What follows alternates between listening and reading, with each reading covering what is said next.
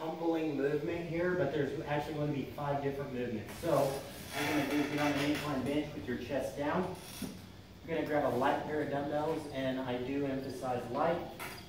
You're gonna bring them up to your shoulders, and you're just gonna press up over your head at an angle. One, two, for however many reps, let's say it's ten, it's ten, that's nine, ten.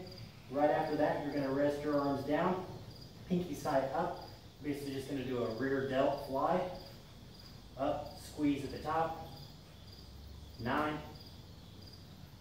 ten. After that tenth rep, you're gonna sit up, rounded chest, flat back. You're just gonna do a lateral raise for 10, 2, and then 9, and then 10.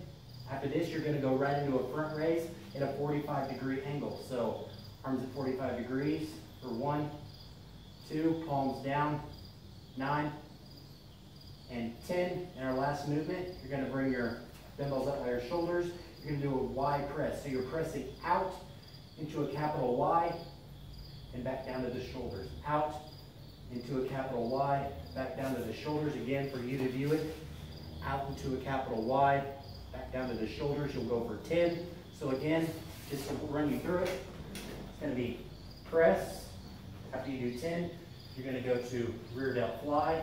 After you do 10, you're gonna sit up, lateral raise. After you do 10, you're gonna do front raise at 45 degree angle. After you do 10, you're gonna bring them up and do a Y press for 10, so it should be 50 reps total.